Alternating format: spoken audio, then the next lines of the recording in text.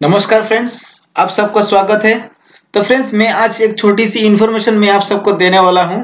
यह इन्फॉर्मेशन बहुत छोटी है, लेकिन बहुत ही महत्वपूर्ण है, क्योंकि यह इन्फॉर्मेशन अगर आपको पता नहीं होगा तो इससे आपको बहुत ही नुकसान हो सकता है। फ्रेंड्स एलआईसी के बारे में हम सबको पता है। LIC में हम लोग प्रीमियम जमा करते हैं। आजकल प्रीमियम जमा करने का साधन बहुत सारे हैं। बाई कैश भी दे सकते हैं ऑनलाइन भी दे सकते हैं बैंक पेमेंट भी दे सकते हैं। ओके फ्रेंड्स और चेक से भी दे सकते हैं। तो फ्रेंड्स चेक के द्वारा जो पेमेंट किया जाता था, पहले जो सिस्टम था, वो सिस्टम कम्प्लीटली चेंज हो गया है। तो फ्रेंड्स मैं आज आपको यही बताने वाला हूँ तो एलआईसी का जो प्रीमियम देने का जो सिस्टम था बाई चेक किस तरह से हम लोग लिख के देते थे, वो कम्प्लीटली चेंज हो चुका है। वो क्या चेंज हुआ है, मैं आपको दिखाने वाला हूँ, क्योंकि अगर आप पहले के जैसे ही प्रीमियम जमा देंगे तो हो सकता है आपका प्रीमियम जमा ना हो, आपका पैसा बेकार जाए। तो फ्रेंड्स और जिससे आपका चेक भी बाउंस हो सकता है, आपको फाइन भी कर लग सकता है। तो फ्रेंड्स इससे अच्छा आप ये वीडियो को अच्छे से देख लीजिए, ताकि नेक्स्ट टाइम अगर आप बाई चेक प्रीमियम देना चाहते हैं एलआईसी में, कोई भी पॉलिसी में तो कैसे देंगे, वो देख लीजिए, जिससे आपका कभी भी कोई गलती नहीं होगी, और आपका पैसे सही सलामत आपके जगह पर जाके जमा होगा।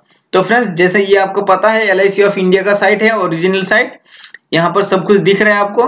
तो मैं आपको इनका एक आर्टिकल है, मैं वो आपको दिखाने वाला हूँ। इन्होंने एक ही दिन पहले इसको दिए हैं। तो ओके फ्रेंड्स ये देखिए एलआईसी का, ये कॉल सेंटर का आपका कॉल सर्विस सेंटर है, जिसको आप रख सकते हैं। आपका अगर कोई प्रॉब्लम हो, कोई भी सर्विस प्रीमियम को लेके या दूसरा कोई पॉलिसी के ऊपर तो आप इसमें कांटेक्ट कर सकते हैं। नंबर है zero double two six eight two seven six eight two seven okay friends zero double two six eight two seven six eight two seven ये है आपका कॉल सेंटर सर्विस का नंबर ओके नेक्स्ट चलते हैं। तो LIC ने अभी क्या बोला है? ओके फ्रेंड्स तो एलआईसी ने देखिए, यहाँ पर बोले हैं attention all policy holders okay friends attention all policy holder paying premium your premium by cheque remember to write okay remember to write your policy number on the cheque friends बहुत सारे लोग by check के द्वारा जो पैसा जमा देते हैं तो अब चेक के ऊपर पॉलिसी का नंबर लिखना भूल जाते हैं। या लिखते हैं चेक के पीछे लिखते हैं। तो फ्रेंड्स ज़्यादातर लोग पॉलिसी का नंबर लिखते हैं, लेकिन पीछे लिखते हैं, या नीचे लिखते हैं। तो फ्रेंड्स वो सिस्टम हट गया है। अगर अभी आप पॉलिसी का नंबर चेक के पीछे लिखेंगे तो आपका वो पैसा जमा नहीं होगा। आपका चेक बाउंस हो जाएगा। तो फ्रेंड्स तो क्या करना है अभी? अगर आपके कोई भी पॉलिसी का पैसा जमा देना है तो आपको अभी इस सिस्टम से देना पड़ेगा। देखिए, ये है, लिखा हुआ है आपका LIC प्रीमियम चेक द्वारा जमा करने का नया प्रकार। देखिए, छह तारीख से ये लागू हुआ है आपका। तो यहाँ पर दिए हैं एल ऑफ़ इंडिया सबसे पहले आपको ये लिखना पड़ेगा LIC ऑफ़ इंडिया उसके बाद देखिए, साइड में आपको लिखना पड़ेगा पॉलिसी नंबर ओके फ्रेंड्स अगर एक नंबर एक ही पॉलिसी है तो एक नंबर लिखिए। अगर दो पॉलिसी है तो आपको दो नंबर लिखना पड़ेगा। ओके फ्रेंड्स देखिए यहाँ पर। फिर आपको यहाँ पर जो अमाउंट है वन लाख या जो भी है, आप लिख सकते हैं, फिर इधर लिख सकते हैं। तो फ्रेंड्स चेंज यही है।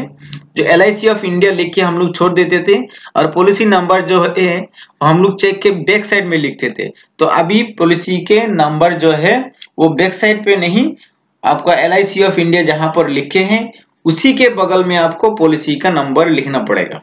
ओके फ्रेंड्स आशा करता हूँ आपको समझ में आ गया होगा ये कंप्लीटली उसके बाद, अगर चाहे आप ये पॉलिसी नंबर बैक साइड पे भी लिख के दे सकते हैं, लेकिन पॉलिसी का नंबर एलआईसी ऑफ़ इंडिया के साथ लिखना बाध्यता मूलक है। ओके फ्रेंड्स तो आपको ये इंफॉर्मेशन देना ही मेरा काम था। तो आज से फ्रेंड्स जब भी एलआईसी का प्रीमियम देने जाए तो याद रखें बाई चेक अगर जमा दे रहे हैं तो इस प्रोसेस में ही जमा दीजिए। नहीं तो आपका पॉलिसी का प्रीमियम जो है, वो जमा नहीं होगा। आपका चेक बाउंस हो बाउंस हो जाएगा और आपका एक्स्ट्रा चार्ज काटा जाएगा। ओके फ्रेंड्स आशा करता हूँ ये आपको पसंद आया होगा। अगर पसंद आया होगा तो फ्रेंड्स शेयर कीजिए लाइक कीजिए और एमडीटी चैनल को सब्सक्राइब कीजिए, क्योंकि यहाँ से हर तरह के नए नए जो इन्फॉर्मेशन है आपको मिलता रहेगा। ओके फ्रेंड्स थैंक यू धन्यवाद।